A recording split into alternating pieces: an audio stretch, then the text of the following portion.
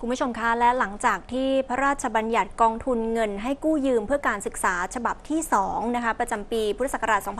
2566 มีผลบังคับใช้เมื่อวันที่ 20 มีนาคมที่ผ่านมาค่ะ ขณะนี้เองค่ะ กองทุนเงินให้กู้ยืมเพื่อการศึกษา หรือว่ากยศที่เรารู้จักกันดีเนี่ยก็อยู่ระหว่างการเร่งรัดเพื่อออกกฎหมายลูกที่เกี่ยวข้อง และปรับระบบการดำเนินงานเพื่อให้สอดคล้องกับกฎหมายดังกล่าวค่ะ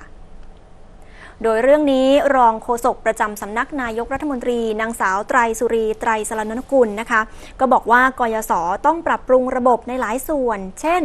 การปรับปรุงระบบการตัดชำระหนี้คือจากเดิมเนี่ยเมื่อผู้กู้ยืมเงินนำเงินมาชำระคืน เงินเนี่ยจะถูกนำไปตัดเบี้ยปรับก่อนค่ะ แล้วตามด้วยดอกเบี้ย แล้วค่อยเป็นเงินต้นในส่วนสุดท้าย แต่ว่าถ้าหากนับตามกฎหมายใหม่ เงินนั้นเนี่ยจะนำไปหักเงินต้นที่ครบกำหนดชำระก่อน จากนั้นค่อยนำไปหักดอกเบี้ยต่อ ซึ่งเมื่อเป็นแบบนี้จะทำให้เงินต้นลดลงอย่างรวดเร็ว และโอกาสการเกิดเบี้ยปรับก็ลดลงตามไปด้วย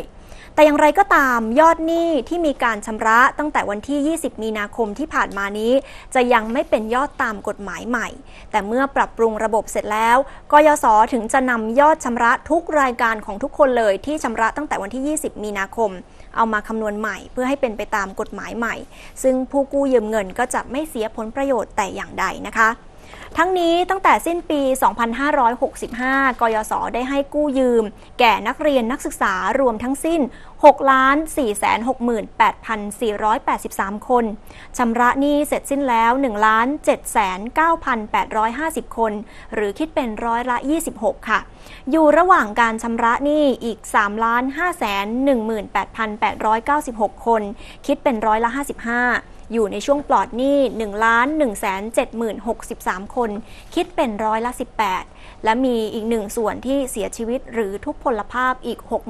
69,674 คน คิดเป็นร้อยละ 1 ค่ะส่วนปีการศึกษา 2566 นี้นะคะ กยศ ก็ได้เตรียมวงเงินกู้ยืมกว่า 40,000 ล้านบาท เพื่อรองรับความต้องการกู้ของนักเรียนนักศึกษาทั่วประเทศประมาณ 600,000 คนเอาไว้แล้วค่ะ